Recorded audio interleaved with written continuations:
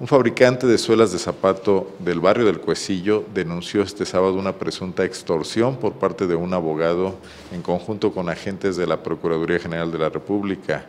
Le habrían pedido 400 mil pesos para archivar los cargos en los que presuntamente se encontraba, de los que se encontraba imputado. El empresario leonés Eduardo Saucedo nos ha aceptado una llamada telefónica. Él está en la línea para que nos platique los detalles de este caso, que viene a sumarse a otros más, donde con el pretexto del combate a las importaciones ilegales, muchos empresarios están sufriendo un acoso por parte de agentes de la Procuraduría General de la República. Eduardo, buenas tardes. ¿Qué tal? Buenas tardes, Andorro. A la orden. Gracias por aceptarnos la llamada. Bueno, pues, ¿cómo se presentó este caso? ¿Cómo llegaron los agentes a su fábrica? ¿Qué le dijeron?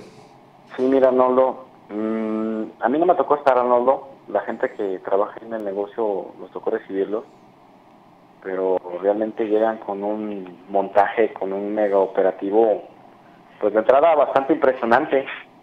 ¿Cuántos agentes se presentaron en, la fábrica? yo creo que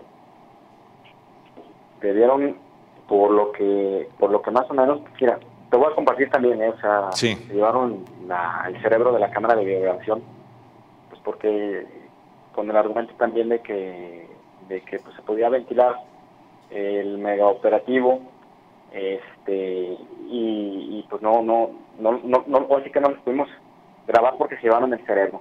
Eh, entonces el operativo llega muy montado llega con bastante fuerza pública. Todos agentes federales la, policía pública la, la policía se quedó en la parte externa del inmueble. Y en la parte interna entran agentes federales con armas largas y, pues, con bastante uso de autoridad. Este, pues se supone que es un cateo. Buscaban algo, exactamente, buscaban... A buscar una suela que supuestamente que es este una, una copia, pareciera como si fuera piratería o un tipo eh, de diseño. O sea, suelas hechas aquí, pero que tuvieran una marca registrada de otro país. Sí, fíjate, Ronaldo, eh, la suela que nosotros tenemos, yo ahí, por ejemplo, a la prensa le compartí una foto, es una suela que maneja un diseño muy universal. En la parte del piso es una suela que trae un dibujo antiderapante. Eh, el nombre de la suela, pues, ahora sí que elección de repente nosotros les ponemos un nombre, un nombre, en el caso nosotros se llama Carla. El diseño que andan buscando ellos es un diseño que está eh, supuestamente registrado como un dibujo artístico, que la marca se llama OMI, este, pero aquí el foco rojo es precisamente el abuso de autoridad. A ver, no encontraron lo que buscaban, no encontraron la suela que supuestamente estaba siendo falsificada. Encontraron la suela, Ronaldo, encontraron la suela, se llevaron supuestamente que esa era la suela que la suela plagiada, este, se llevaron una cantidad de unos 10.000 pares, se llevaron la colección de los moldes con, con que, o de los moldes donde se inyecta ese, esa suela, esas sí se las llevaron.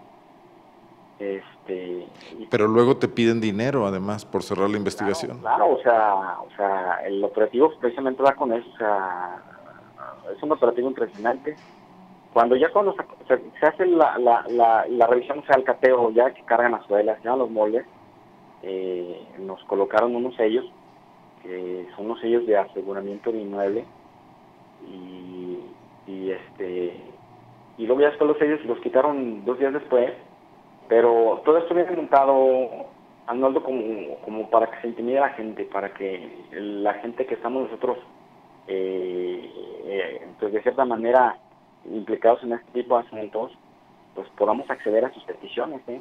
O sea, para asustarlos. Sí, claro, son un montaje. ¿Y qué pasó finalmente? ¿Accediste tú a sus, a sus exigencias? Sí, eh, yo no tuve ningún acercamiento directo con el licenciado, el licenciado de nombre licenciado Ramiro Quintana. Eh, fue muy claro, o sea, al principio llegaron pidiendo 500 mil pesos. Este, son son después acceden, te piden, después me, pidieron 400 mil. Eh, pues la mera verdad yo hasta ahorita, hasta la fecha yo fijo mi postura, yo no estoy incurriendo en ningún delito. Este, ahora sí que con, con tal seguridad de que precisamente pues alzo la voz. Y ¿Tú por eso convocaste a los medios, diste a conocer esto y bueno, hiciste una denuncia pública? Sí, o sea, porque lo que nosotros hacemos es trabajo legal, pagamos impuestos y, y nuestro producto es un producto pues que no tiene ningún tipo de marca. ¿Te ha contactado algún tipo de autoridad, algún superior de los agentes que estuvieron aquí pues para saber qué estaba pasando? Fíjate que todavía no, no hemos tenido ningún tipo de acercamientos, pero es... O sea, a ti te tendrían incluso que devolver lo que se llevaron, la suela y los moldes, porque no es de ninguna manera un producto ilegal ni incurre en, los, en lo que ellos están persiguiendo. No, no incurre en nada de, ese tipo de, supuestos. Este, y el abogado con la mano en la cintura, o sea, dice a mí dame tanto. El abogado era el abogado de la empresa, ah, supuestamente que demanda la piratería. Así es. ¿Pero los agentes se subordinan a sus instrucciones? Eh, los agentes, o sea, ya se cuenta que ya de, todo lo que está pidiendo el abogado, ya viene ahí la parte que, que, que, pues que le solicitan ahí las autoridades o, la gente que está implicada aquí en el en este tipo de, abusos, en este tipo de atropellos. Y el abogado es muy claro, o sea, yo necesito que me des tanto y de esto que me des, pues yo voy a, ¿Y quería que se lo pagaras ahí en efectivo o cómo era? sí, claro, lo quieren en efectivo, este, y también igual te siguen metiendo opción emocional, porque todavía aparte de, todo esto te dicen, si no me das a mí el dinero, vamos a, a, que este asunto se gira una orden de aprehensión en tu contra. Fíjate que yo tuve un acercamiento y esto también es parte pues de lo que te quiero compartir. Que yo tuve un acercamiento con el afectado, eh, eh, y cual yo platiqué con él y sabes que pues así están las cosas, me dice, él a mí me dice, mira Lalo, eh, yo no quiero nada, fue un malentendido, yo te firmo lo que tú quieras, pero pero este como el asunto se persigue de oficio, entonces ahí es donde entra pues la parte de la abogada, o sea, el señor afectado, el nombre Miguel, eh, tuve comunicación con él el viernes y él me El demandante en este caso. El demandante, sí, el afectado demandante, pero pues entonces aquí entra ya la voracidad del, de los abogados y... ¿Tu, ¿Tu, fábrica ahí en el Cuecillo estaba tomada el sábado prácticamente? ¿Cómo se encuentra en este momento? Sí, mira, eh, la fábrica hicieron la orden de cateo el jueves como a las 2.30 de la tarde, el operativo se debe haber terminado como a las 4.30 más o menos.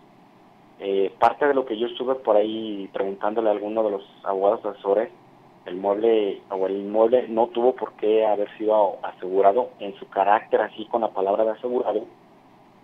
Y luego ya el sábado ya nos llevamos la sorpresa que fuimos a, a, tener a la, a, la, a, la, a, la, entrevista para los medios de comunicación.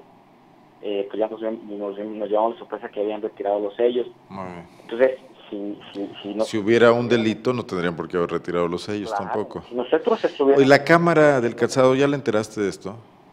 No, no, pero ahorita que lo comentas, sí sería bastante prudente. Porque ha habido ya denuncias pues de otros productores como tú, de, situaciones similares. Bastante prudente tener un acercamiento con ellos para, para ver pues de qué manera se puede defender la gente.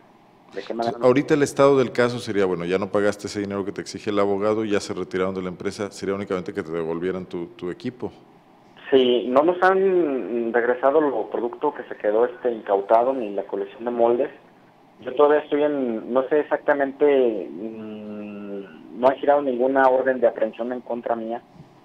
¿Tú no piensas denunciar este, esta situación como un abuso de autoridad, como ah, también ante la autoridad penal?